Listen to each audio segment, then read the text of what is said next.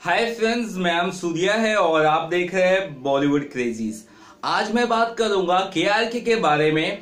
तो मुझे कहा गया कि कुछ फनी वे में आप, आप अगर बताओगे तो ज़्यादा अच्छा रहेगा के आर के के बारे में। कुछ लोगों ने कहा कि थोड़ा फन आप करते हो थोड़ा अच्छा लगता है।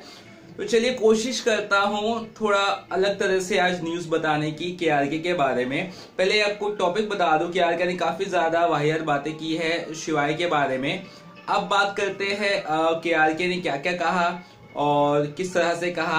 अपने ही टोन में बैकग्राउंड में आई थिंक म्यूज़िक भी कहीं बज रहा है और दिवाली का माहौल है। तो सबसे पहले हैप्पी दिवाली आप सभी को। चलिए बात करते हैं अपने अंदाज में। के आर के वो जंतु है जो मुंबई के अंधेरी वेस्ट में पाया जाता है।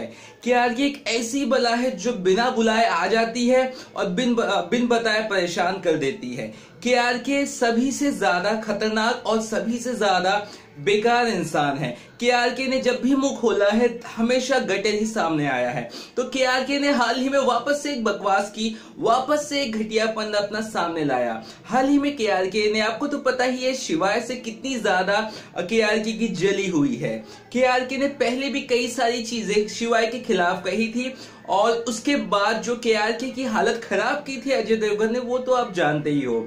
अजय देवगन ने एक वीडियो रिलीज़ किया था एक ऑडियो रिलीज़ किया था, जहाँ पे के आर के ये कबूलते नज़र आए थे कि उन्होंने 25 लाख रुपए लिए थे करण जोहर से। उसके बाद के आर के क्या हुआ, वो आप भी जानते हैं। बाकायदा मीडिया को प्रेस कॉन्फ्रेंस के हिसाब से बुलाकर के आर के ने अपनी बात रखी। के आर के चाहते हैं कि वो हमेशा ही पब्लिसिटी में बने रहे, इसलिए के आर के ने फिर अपना एक दाव खेला।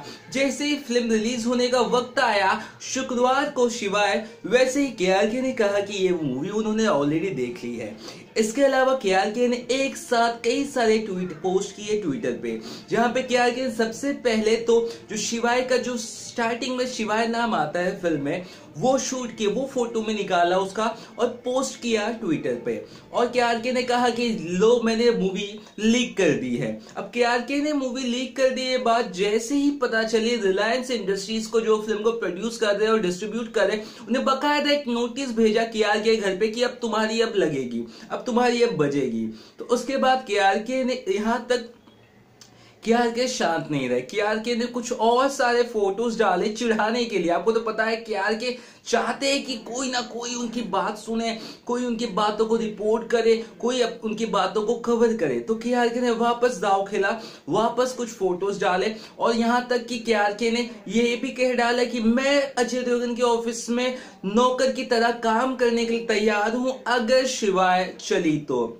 अब भाई, तुम्हें ही लगता है कि शिवाय चलेगी नहीं? बाकी पूरी दुनिया को पता है कि शिवाय चलने वाली है। तो आप तो रेडी हो जाओ अजय देवगन के ऑफ़िस में काम करने के लिए, झाड़ू पोछा लगाने के लिए, क्योंकि आपसे उससे अच्छी चीज़ और कुछ हो भी नहीं पाएगी क्योंकि आपकी जो क्रिटिक्स है, आपकी जो राय है, आपकी जो बातें हैं, वो शायद ही कोई देखता होगा, शायद ही कोई पसंद करता होगा। तो आपका नाम लेने से पहले लोग पहली बात तो बहुत सारी चीज़ें ऐसे अल्फाज यूज़ करते हैं जो आपको भी पता होगा। उसके बाद आपका नाम यूज़ करते तो आप समझ ही गए होंगे। तो के ने इसके बाद और कई सारी चीज़ें कही जो आप सोच भी नहीं सकते कि इस के किस लेवल पे जा सकते किस नीचे वाले लेवल पे। तो के ने इसके साथ ही गुरुवार को कुछ फ़ोटोज़ डाले उसके शिवाय के, और साथ ही ये भी कहा कि मुझे पता है शिवाय की स्टोरी मुझे पता है शिवाय की स्टोरी धीरे धीरे बताने लग गए।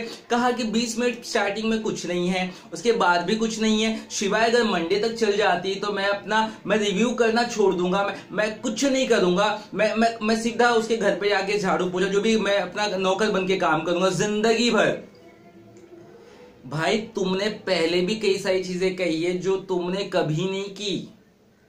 अब क्या नया सोच के आए हो कि पब्लिक तुम्हारी सुनेगी? तुम्हें कोई नहीं सुनता है और अब देखते वही लोग हैं जो तुम जैसे है, वरना तुम्हें देखता भी कोई नहीं है, क्योंकि तुम जो ऐसी बला हो जिससे लोग दूर रहना चाहते हैं पता नहीं करण जोहर का नाम तुमने कैसे ले लिया? करण जोहर मुझे पता है इसमें इन्वॉल्व नहीं होंगे जिस तरह से तुमने कहा कि पच्चीस लाख रुपए तुम्हें मिले हैं करण जोहर से। क्योंकि एज ए फ़िल्म मेकर मुझे नहीं लगता है करण जोहर इतने नीचे जा सकते हैं। जहाँ तक अजय देवगन ने की है, तुम्हारे साथ जो भी चीज़ें की है, वो मैं तो बोलता हूँ बहुत सही की है।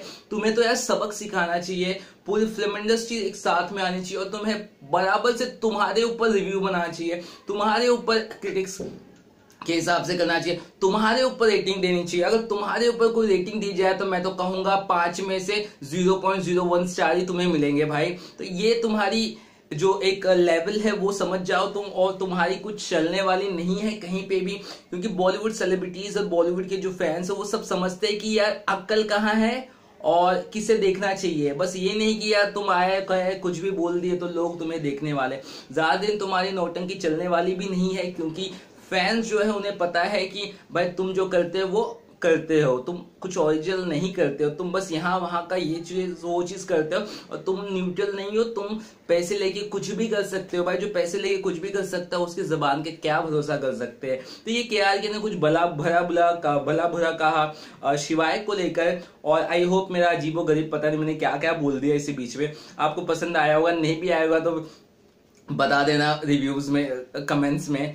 तो ये के आर के ने काफ़ी ज़्यादा बुरा भला कहा। शिवाय को लेकर और रिलीज़ आखिर फ़िल्म हो चुकी है। फ़िल्म अच्छी कमाल करी पहले दिन और आने वाले दिनों में भी फ़िल्म अच्छी कमाल करेगी। और मुझे आई होप के आर के पहली बार अपनी जबान पे कायम रहे। अगर जबान पे के आर के कायम रहेंगे तो आपको तो पता है के आर के की जगह कहाँ पे होगी। अजय देवगन के ऑफ़िस में होगी, वो भी झाड़ू पोछा करते हुए। तो कुछ और बॉलीवुड खबरें पता चली तो आपको ज़रूर बताऊँगा। आपके कुछ सवाल होता आप भी पूछ सकते हैं। चलिए बाय